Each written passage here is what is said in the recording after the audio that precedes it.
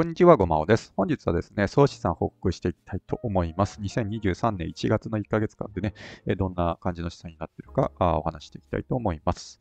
えー、この動画ですね、あなたのお金に関する不安を消したいというごまの思いを具現化しております。お金の知識、生き方、働き方、伝えていきます。えー、チャンネル登録者数1万人達成しております。ありがとうございます。えー、この動画を見るべき方はね、人の資産を覗いてみたい、投資方針の参考にしたい、えー、で2023年ですね、えー、これ間違えちゃってますけど、2023年は投資を頑張りたいと思っている方、あ参考になると思います。えー、ごまおの属性ですね、30代の男性で、えー、専業主婦の妻、子供2人、家族4人で暮らしてます。地方転勤した中小企業会社員、2016年より投資開始してます。で、仮想通貨の含み益も僕あるんですけれども、その含み益の50%を資産として計上しております。はい。えー、で、僕、アッパーマッソまで、えー、までね、到達してますね、資産的にはね。えっ、と、次目指すべきは準富裕層ということで、えー、ただなかなかね、準富裕層まで行くのはなかなか険しい。2022年のね、1年間のね、えー、状況がね、ちょっとあの、まあ、特集というか、まあ、株安の、しかも円安ではあったんで、なんか円建て資産的にはなんか上がりそうだなって思ったんだけど、まあ、そうでもなかったみたいな感じで、結構足踏みした状態だったんですよね。2023年どうなるか、一緒に見ていてえー、っていただければと思います。はい。えー、で、2023年1月31日時点での全資産のポートフォリオがこんな感じになっておりますという感じですね。えー、全部でま4400万ぐらいになったんですけど、えーまあ、注目すべきはですね、日本株始めましたっていう感じですかね。えー、2023年の新たな取り組みとして、えーまあ、僕、米国株ばっかり買ってたんですけど、日本株もちょっとね、始めてみようかなと思ってね、えー、始めました。まあ、ここら辺の話もしていきたいなと思ってます。はい。えー、じゃあ、内訳いきましょう。まず現金ですけど、今580万ぐらいの現金があるという感じですね。これマネーフォワードの画面で管理してまして、銀行口座とね、クレジットカードのみ紐付けてます。で証券口座と仮想通貨口座はね、紐付けてないので、まあ、現金だけの動きが見えるっていう感じですね。えー、生活防衛資金はま600万以下ぐらいで大丈夫かなっていう目論みで、えー、まあ、年間生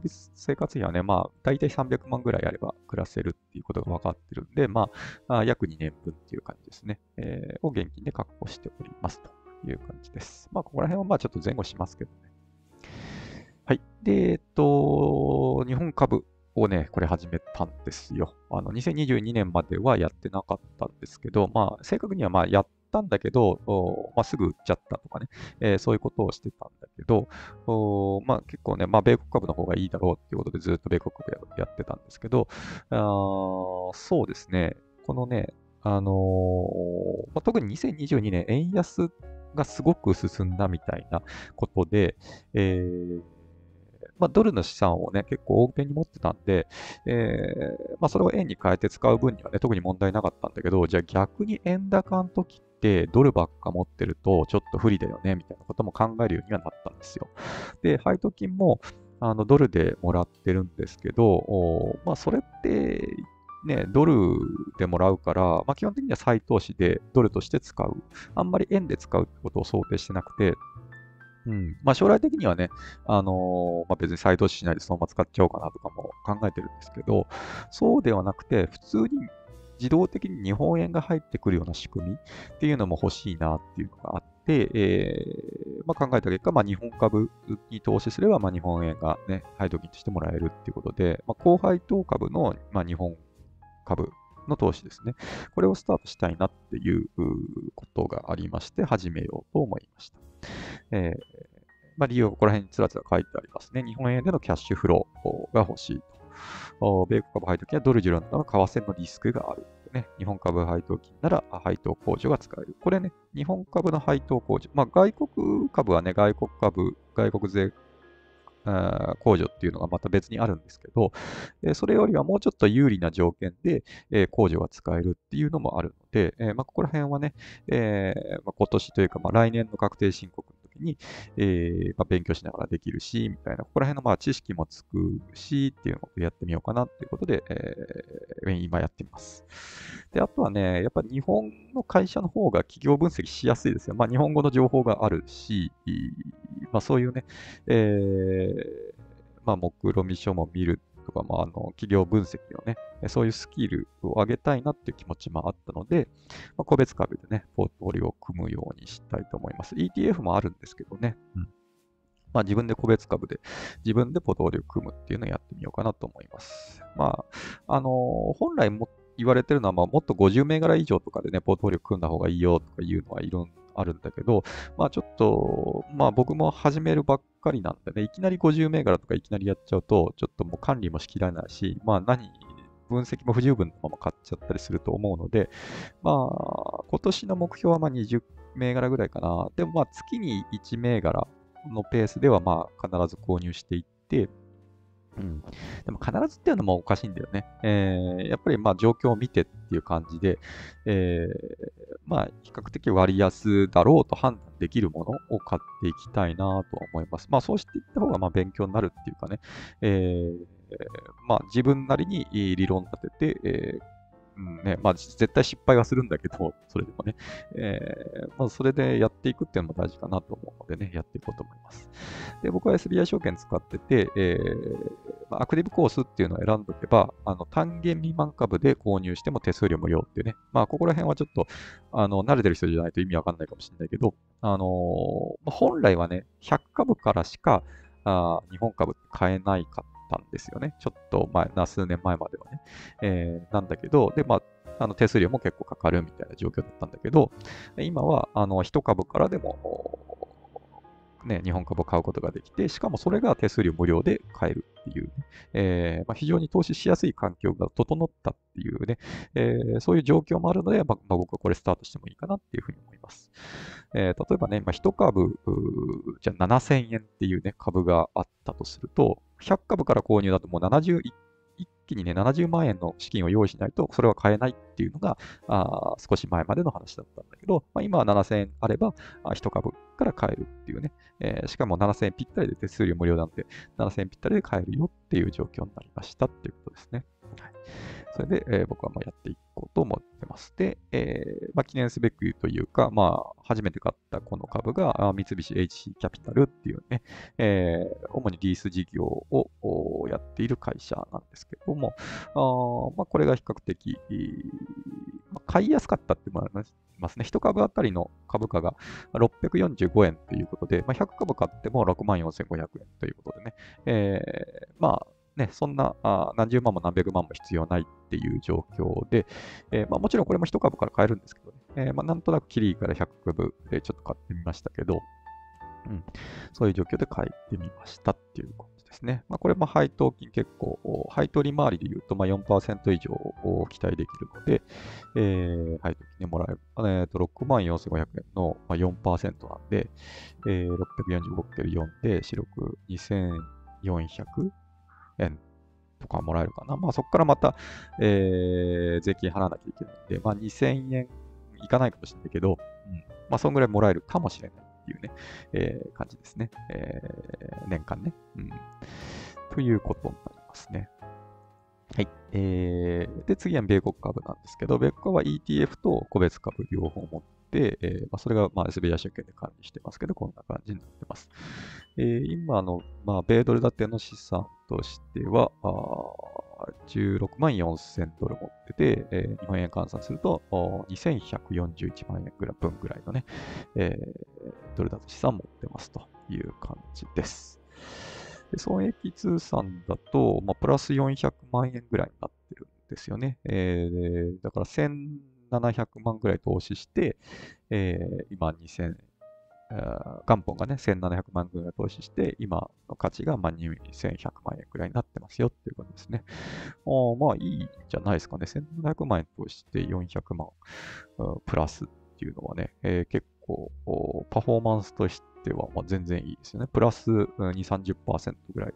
になってるっていうことですからね。えー、でしかもさらに僕は配当金をたくさんもらってるんで、まあ、もっともっとトータルのパフォーマンスとしてはいいっていうね、トータルリターンはもっといいっていう感じ、30%超えるんじゃないかなっていう感じですね。うんまあ、2016年ぐらいから始めてるんで、えー、もう6、7、8、9、10、1、2、2、えー、7年、な丸7年ぐらいはやってるんですよ。そのぐらいまあ投資を続けていると、まあ結構プラスになってるのも多いなって、まあ、まあそれはでもまあ銘柄選択しないなんだけど、あまあ割とインデックスファンドとか、あ高配当株の ETF とか、まあそういうものに、ね、投資してます。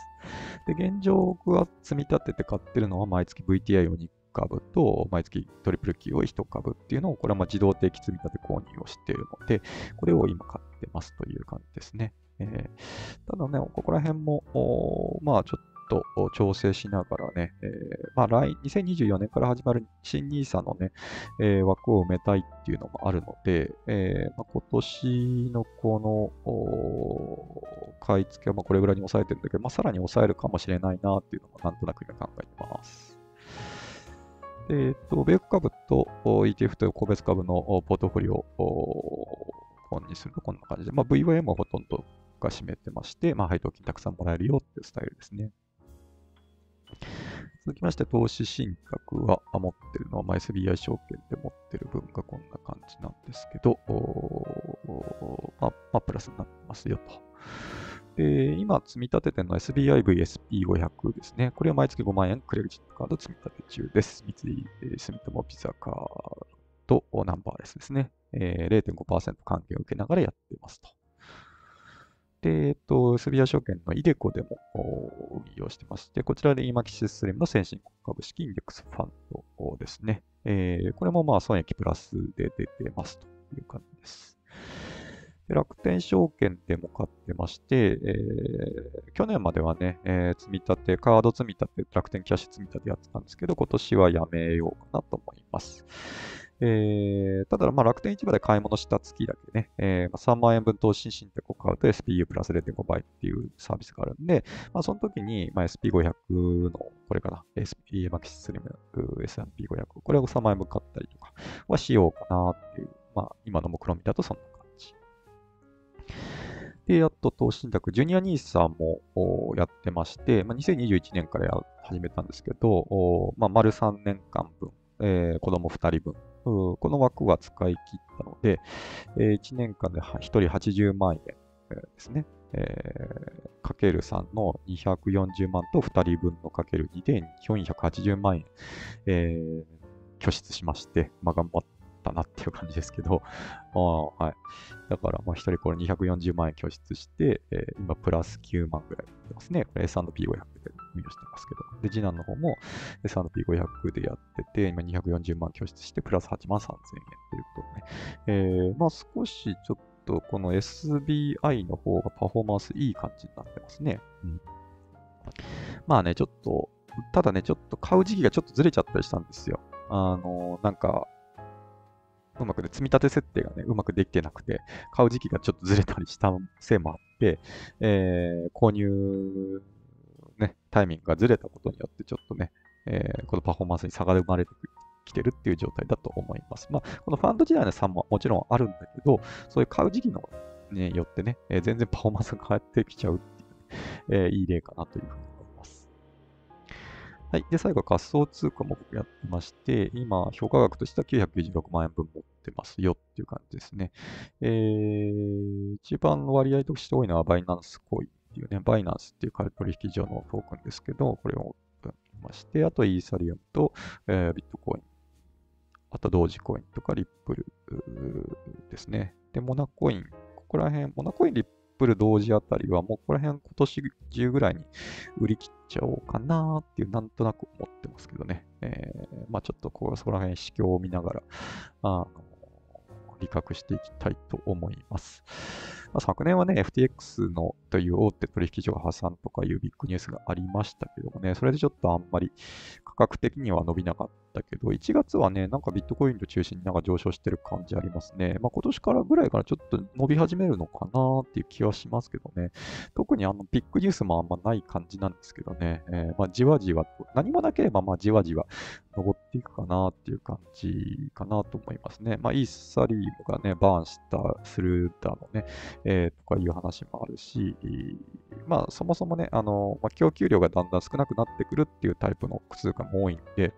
まあそういうものは自然とね、価値が上がっていくっていう感じですね。で、まあこういう破産とかニュースがあったら一時的に下がるかもしれないけど、まあそれでもまた希少価値っていうのはどんどん上がっていくコインも多いから、そういうものはまじわじわ上がっていくっていう、まあ、そういうトレンドが続くのかななんて気がします。でさらになんか、うん、まあ以前ね、えー、まあ、ネムが盗まれたとかいうので、ちょっと仮想通貨に対しての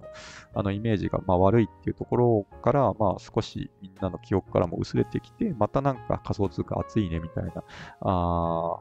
時期がね、まあ、必ず来ると思うので、まあ、その時までまあ基本的にはガチをして、えー、まあ、こういう資産もね、まあ、2倍、3倍になることも全然考えられますから、まあ、普通にガチをしていこうかなっていうふうに思ってます。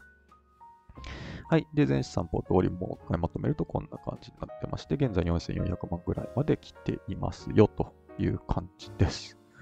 うん、まだまだ5000万円までの、ね、道のりは長いですけどもね、まあ、焦らずやっていこうかなというふうに思います。で僕の資産推移ですけども、こんな感じになっていまして、えー、まあ、このオレンジの、まあ、米国株の割合はあどんどんどんどん拡大していってて、えーまあ、仮想通貨が、まあ、ちょっと最近、えー、あんまり元気ないかなっていう感じだけど、まあ、他の投資信託の部分もね、えー、じわじわ増えていってるので、うん、そうですね。えー、まあ、この調子でいけば、あまあ、いずれ5000万っていうところは到達できると思うんですけどね、えー、なかなか足踏みしていけないなっていう感じですね。まあ、でも、まあ、持ち家売却したっていうのはまあ一番でかかったんですけどね、えー、ここまでの資産を築けてこれたのは、やっぱりこういう決断ができたからな、だなと思っております。で、えー、気になる米国株配当金なんですけど、2022年、丸1年間の、ね、結果が出たので、一応上げていくと、まあ、46万円分の、まあ、ドル全部ドルであの配当金もらってるんですけど、46万円分ゲットしました。あの毎年毎年ね、配当金もらえる額っていうのが積み上がっていったのでね、えー、本当に非常に嬉しい限りですね。まあ、配当金だけ見ると、2022年はまあ絶好調だったかなというふうに思いますね。やっコロナショックが2020年ぐらいにあって、えー、まあ、そこからちょっと2021年の伸びっていうのが、あまあ、ちょっと弱いなっていう感じはしてたんですよ。あの2020年そコロナショックもあった時に、まあ、自分なりにまあ結構頑張って積み上げたつもりだったんだけどね、まあ、その効果が2022年になって現れてきてるなっていうのをまあ実感してますかね。うんまあそういう感じになってます。えー、1、2、3、4、5、6、7年ですね。7年やっぱ積み上げてきて、これぐらいの数字になってきたという感じですね。えー、まあ、感慨深いものがあります。46万円なんでね、まあざっくり月に4万円ぐらいのね、えー、不労所得が手に入っているっていう状況になってますのでね、まあ、2023年終わったぐらいには、まあ、月5万円ぐらい、えー、っていうのを目指せればいいかなっていうふうに思ってます。で、さらにね、日本株も、まあ、数年かけて、えー、勉強しながらね、積み上げていけば、あまあ、配当金月10万円もらえるようなポートフォリオっていうのが、まあ、数年後に作れるんじゃないかなっていうね、えー、そういう思いを持ちながら、今後続けていきたいなっていうふうに思ってます。はい。で、2023年1月の投資環境と、まあ、5万の資産の考察していきましょう。えー、まあ、ドル円自体は130円割るっていう状況で、えー、昨年はね、一時期150円とかまでいったのに比べると、まあ、すごいね、幅で下がってるなっていう感じがしますね。で今年の為替変動はまあ一旦落ち着くのかなって、まあ、去年ほどの変動はね、えー、特に大きな、ね、ニュース、まあ、戦争みたいなことがない限りは、そこまではな、まあ、旦ね、インフレ、の状況っていうのはあんまりね、落ち着くんじゃないかなって思いますからね。なっていくと思います。で、2023年分ジュニアニーサは私は購入済みということで、あとは寝かせるだけっていうフェーズに入りました。なんで、まあ、今まで、この3年間はね、頑張ってジュニアニーサのための資金を拠出してたんですけども、まあ、その分を2024年の新ニーサの分のとこに回せるっていうのもあるので、ちょっとそっちのためにね、頑張っていきたいなと思ってます。米国株配当金は年間46万円を達成しました。しかし全部ドルでもらっているという状況。ね、為替リスクはあると。なんで日本円での配当も欲しいので日本高配当株投資を始めましたと。まずは三菱ね、HC キャピタルを買ってみました。今後もね、えー、まあ、どういう銘柄買っていくかっていうのもまあお伝えしていきつつ、解説していければなと思います。2024年の新 NISA 計画を練る。これね、今年のすごい楽しみの一つですね。まあ、どういう風にやってやろうかなっていうね、えー、ちょっとしたゲームを攻略するみたいな感覚なんですけど、うん、これでね、まあ、この新ニーサ枠ね、コンプリートすればもうかなり人生、えー、豊かになるっていうかね、結構人生上がるっていうか、そのファイヤーみたいなことをね、えー、考えてる人には、あの、これをコンプリートすることが、まあ一つの目安になるんじゃないかなっていうふうには思いますけどね。で、投資信託の部分では SB や VTI で、えー、埋めて、成長投資枠がね、VYM っていう、この組み合わせで僕は行こうかなって今のところは思ってますけどね。でもわかんないです。日本株とかもね、えー、ちょっと感覚つかめたら、あそう成長投資枠で日本後輩と株も一部、えーね、入れてもいいかななんていうのを、まあ今のところはなぼんやりとは思ってますね。えー、ちょっと判断はここら辺難しいところですけどね、えー、まあ1年間ぐらいある、あと11ヶ月あるんで、まあゆっくり考えていこうかなと思います。えー、変わらず積み立て投資は前3の P500 を今積み5万円、月5万円ね、投資信託積み上げて、あとは別に、まあ、ドルで配当金ももらえてるので、それをサイト知っていて、VTI とかトリプル Q とかを買っているっていう感じです。はい。以上になります。あまあ、毎月ね、えー、変わらずご覧いただいている方、本当にありがとうございます。えー、この調子でね、まあ、月に1回資産公開していきたいと思いますので、今年もよろしくお願いいたします。2023年皆さんもね、えー、まあ、豊かになっていきましょう。100年結婚に生きるためです。えお金の知識、ガンガン蓄えていきましょう。それではまた次回の動画でお会いいたしましょう。バイバイ。